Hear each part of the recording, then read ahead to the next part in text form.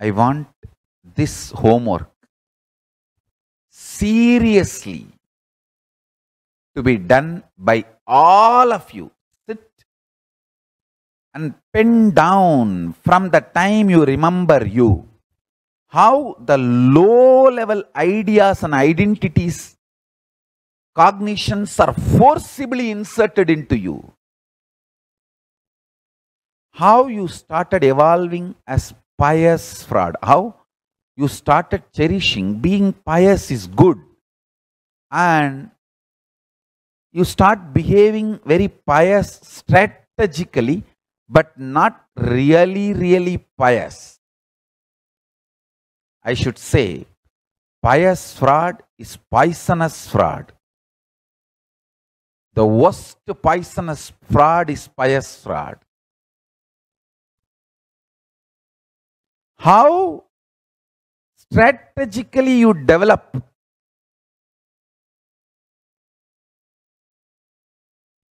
this piousness as a way to relate, strategize.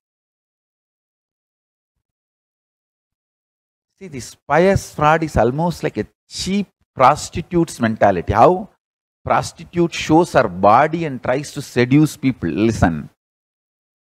Body gets attention, only the being gets love. Body cannot enjoy love. Body is matter. Only being can enjoy love.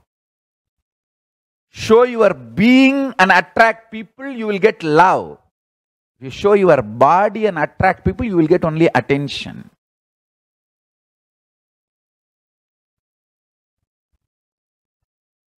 You will not get love. Body gets attention, not love. How a prostitute tries to use her body to get attention.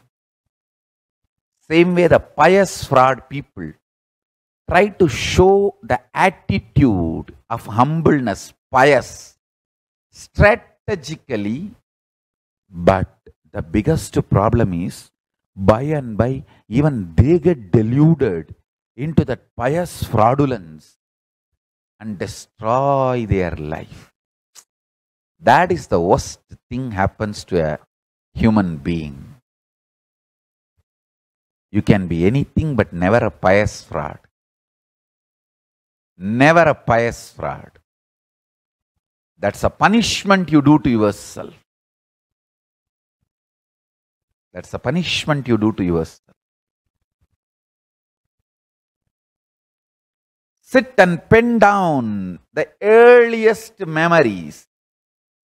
How you started developing the low identity about you, and how you started cunningly evolving the pious fraud as a strategy to get what you want, and how you started appreciating your piousness is getting what you want. Listen carefully. Listen carefully. Show your being.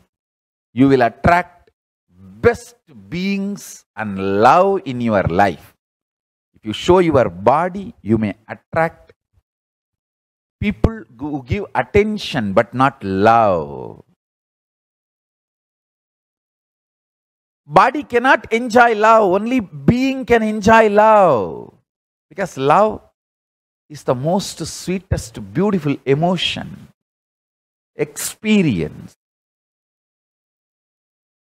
From the time you remember you, how you started believing, showing yourself very pious externally, gets you what you want.